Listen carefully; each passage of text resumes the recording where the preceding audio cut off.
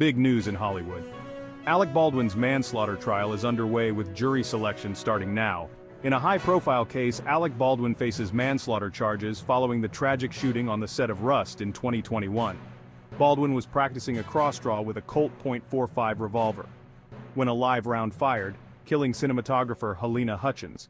Prosecutors argue Baldwin, as a producer, was responsible for the unsafe conditions on set. But Judge Mary Marlowe Summers ruled against including this claim in the trial. Defense attorney Luke Nikas contended that holding Baldwin liable as a producer was excessively prejudicial. During a related trial footage showed Baldwin firing a gun after cut was called. Prosecutor Kari Morrissey emphasized Baldwin's lack of gun safety, stating it's an issue he'll have to address. Though not with this jury. Stay tuned for more updates as this high-stakes trial unfolds. Subscribe for the latest news.